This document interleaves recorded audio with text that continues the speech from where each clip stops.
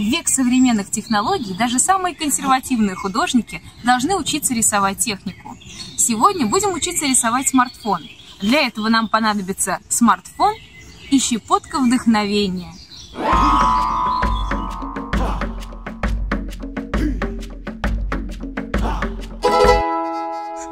Получившуюся картинку вы можете поставить на рабочий стол вашего смартфона.